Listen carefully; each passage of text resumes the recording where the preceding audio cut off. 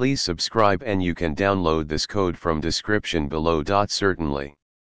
Checking for unused imports in Python files is a good practice to keep your code base clean and efficient. There are several tools available for this purpose, and one popular choice is Flake8, which is a linting tool that can help you catch various issues in your Python code, including unused imports. Here's a step-by-step -step tutorial on how to use Flake8 to check for unused imports in multiple Python files. First, you need to install Flake8. Open your terminal or command prompt and run.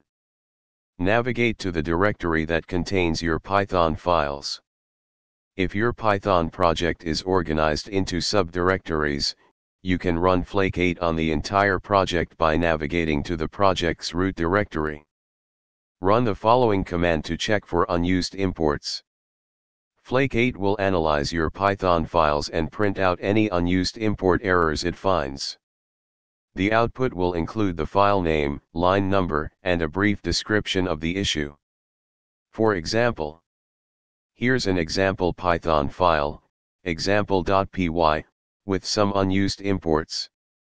After running the flake8 command from step 3, you will see the output indicating the unused imports in this file. That's it. You can now use flake8 to identify and clean up unused imports in your Python project. ChatGPT